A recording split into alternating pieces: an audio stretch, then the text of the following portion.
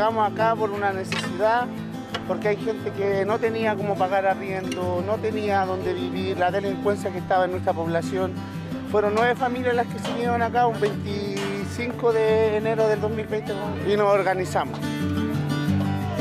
Quedé sin pega por el mismo tema del coronavirus y ahora no tenemos cómo sustentarlo. Estamos de a poco nomás como se pueda y sin ayuda del gobierno como que.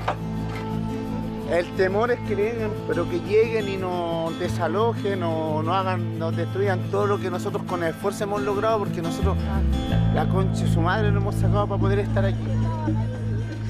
La convención mixta limitará la representación social en la convención, siendo esta formada por un 50% de parlamentarios ya electos y un 50% de ciudadanos, y no asegurará la paridad de género, a diferencia de la convención constitucional que sí asegura paridad. Por eso voto apruebo, voto convención constitucional.